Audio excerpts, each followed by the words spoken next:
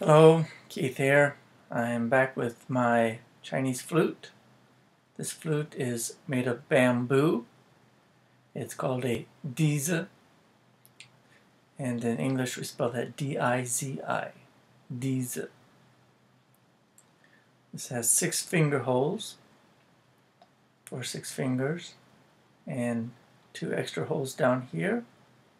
There's a hole here which you cover up with tape and a hole that you blow into and on the bottom there are two holes. The end is made of uh, ox or cow horn.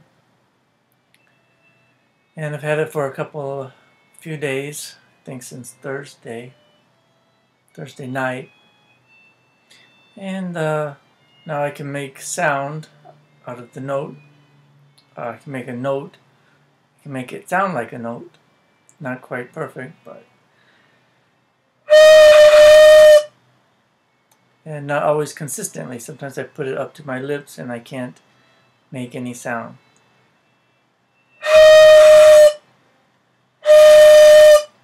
One thing that's helped is to make sure that I have the holes covered well. I don't press firmly enough makes a big difference. So.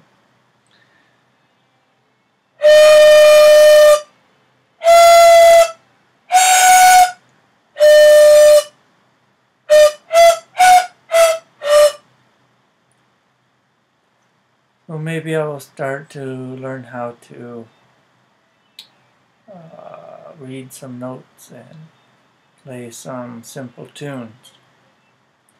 This is my Chinese bamboo flute called uh, dizi.